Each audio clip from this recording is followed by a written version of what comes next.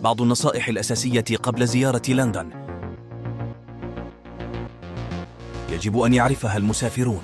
لا تقف على الجانب الأيسر من سكلتر هذا يشير على الأرجح إلى السلالم المتحركة حيث في لندن من المعتاد الوقوف على الجانب الأيمن للسماح للأشخاص المستعجلين بالمشي صعودا أو نزولا على الجانب الأيسر. هذه آداب شائعة في العديد من الأماكن التي تحتوي على سلالم متحركة بما في ذلك الأنفاق في لندن.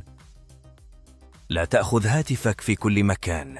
هذه نصيحة أمان عامة تنطبق في العديد من المناطق الحضرية المزدحمة. كون واعيا لمحيطك وحافظ على أمان ممتلكاتك يمكن أن يساعد في منع السرقة أو السرقة. لا ترتدي الملحقات والساعات الثمينة.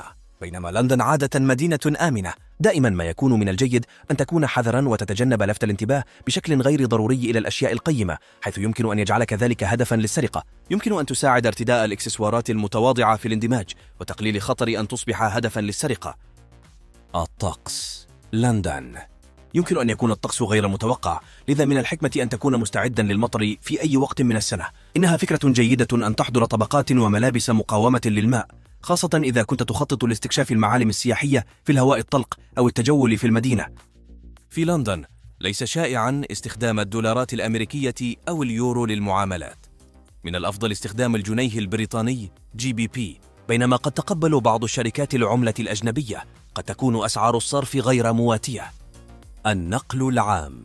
فعلا الاضطرابات العرضية للنقل العام بسبب الإضرابات التأخيرات أو التعليقات هي جزء من الحياة في لندن.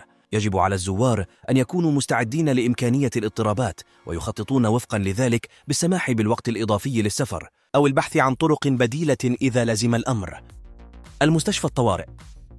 زيارة المستشفى الطارئ في لندن قد تؤدي أحيانا إلى فترات انتظار طويلة خاصة خلال الذروة أو عندما يكون هناك عدد كبير من المرضى بينما يهدف نظام الرعاية الصحية إلى ترتيب الحالات العاجلة من المهم أن تكون مستعدا للتأخير المحتمل. إذا أمكن فكر في الخيارات البديلة للاحتياجات الطبية غير العاجلة مثل زيارة العيادات المتخصصة أو تحديد موعد مع الطبيب العام للإصابات الطفيفة.